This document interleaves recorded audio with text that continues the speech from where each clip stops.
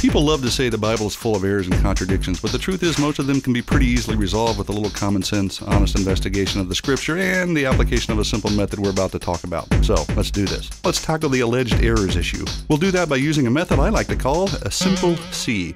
S. Spelling. That's right. Many of the so called errors in the manuscript are simple variants in letters. Say you have one manuscript that was translated from Greek into Old English and another into American English. Well, the English Cheerio. translators might write down theater with the RE ending, and the American Howdy, team might write down theater with the ER ending. Now, that's no error, my fellow thespians. It's a variant in spelling, so that's that for that one. On to the M. M is for mistranslation. This is when the original word might not have been translated to the new language perfectly or something along those lines. You got to realize that sometimes there's not a perfect word equivalent at the time of translations, or that the translator simply had a slip of the pen or used a word that perhaps could be translated in different ways. Context and comparison solves this lickety split. For instance, Leviticus 11 13 through 19 says, And these you should regard as an abomination among birds. The eagle, the vulture, buzzard, and bat. Folks go nuts on this one. Bats aren't birds, bats aren't birds. The Bible is wrong and can't be trusted. Come on. First of all, they didn't have the same animal classifications back then, and the original Hebrew word translated bird here is alf, or however you pronounce that. And although correctly translated bird in many places, it also has a broader meaning like having wings or winged creature, which would, of course, include bats. This is all settled pretty easily with a little looking and thinking, I'd say. Moving on to P for perspective. Sometimes the testimony of two people can seem contradictory,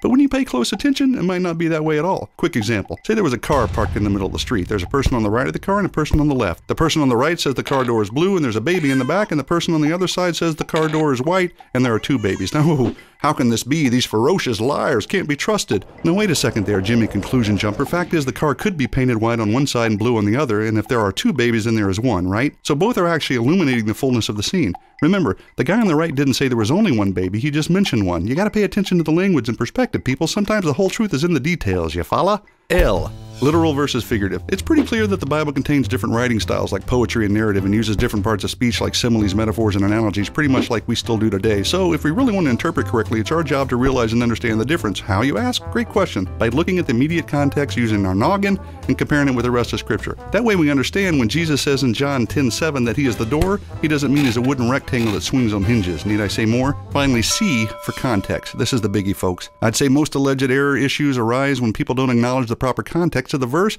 they quote only part of it or purposefully misuse it. They might say John 3:16 says for God so loved, but they say Deuteronomy 16:22 says the Lord your God hates. Now which is it? Does he love or does he hate? Well, you know, this is silly because the context of John 3:16 is about God's love for people and the Deut verse is talking about his hate for pillars. You know, if you hack, twist and misquote everything, you can pretty much make it say whatever you want and that's not really searching for truth. So, there you have it. With a little effort, honest investigation, and application of the simple C method, the idea that the authority or inerrancy of the Bible is in any way diminished due to errors has been debunked. Adios.